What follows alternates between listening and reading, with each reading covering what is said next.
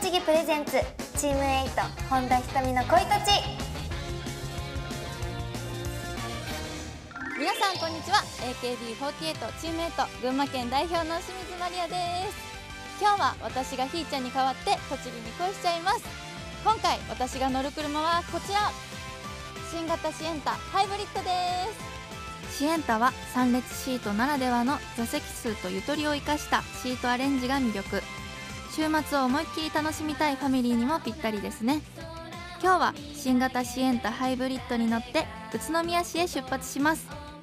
私が訪ねたのは東北自動車道宇都宮インターチェンジから車でおよそ20分。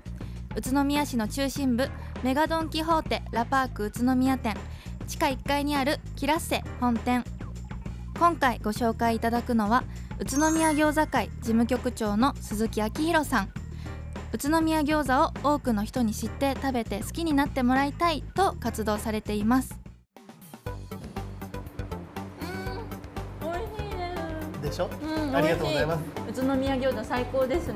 いやーもうマリアちゃんにそうやって褒められたら本当嬉しいです。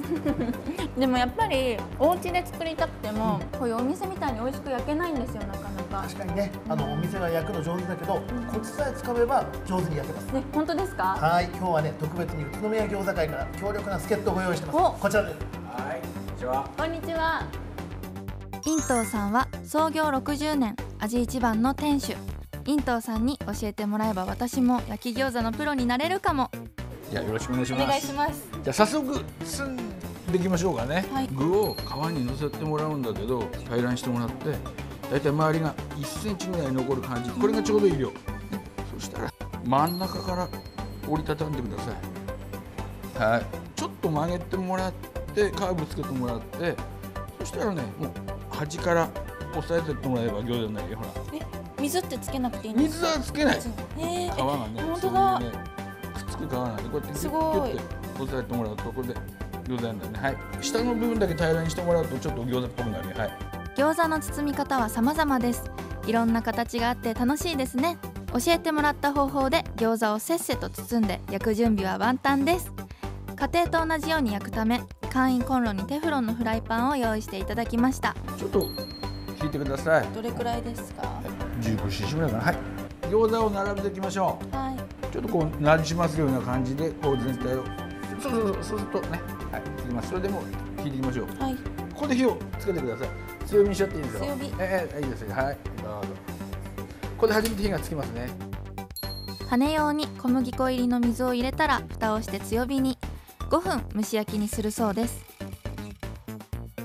餃子が膨れてきたら火を弱火にして少しごま油をさします。焼き上がりの目安ってどれくらいですか？でもうこのパチパチっていった音がなんかだんだんもう細かな音になってきてるよ、はい。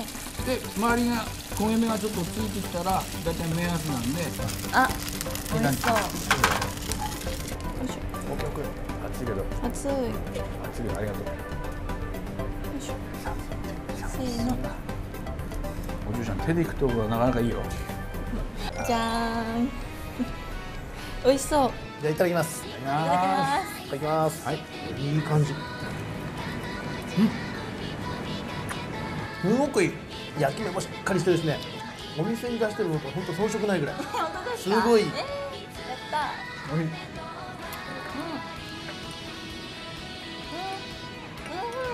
ん。うん。餃子が、ね。